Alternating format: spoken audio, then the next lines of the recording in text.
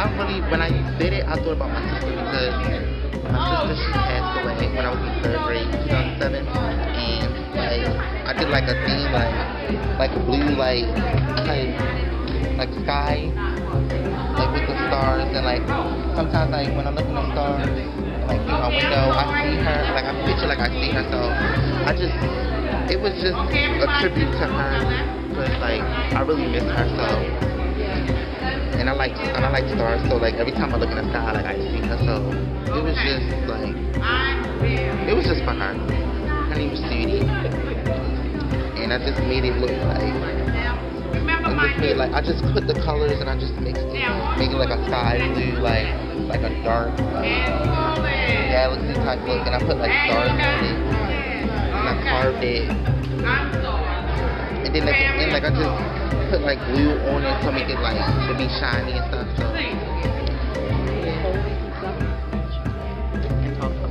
like I put like I just made it like like a like a sky thing, and I just like put like at the end I just put glue over it, and I just so it just like give it like a glaze look and like make it real shiny, and I just put the stars on it.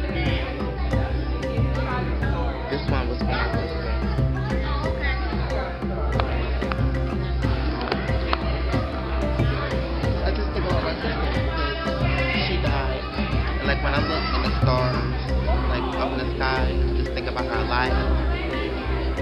And like, I know like, this was just for her.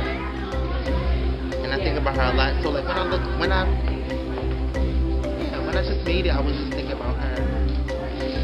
And I carved the stars, and I just put them on here.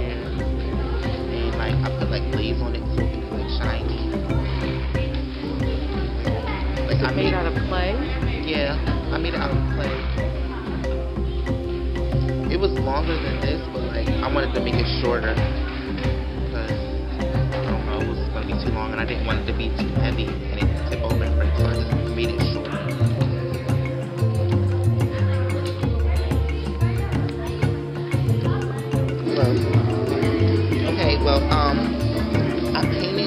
I, I knew I knew what I was gonna do, so like I had a vision in my head, so like I painted it first. I painted the picture first before I actually sculpt sculpted and like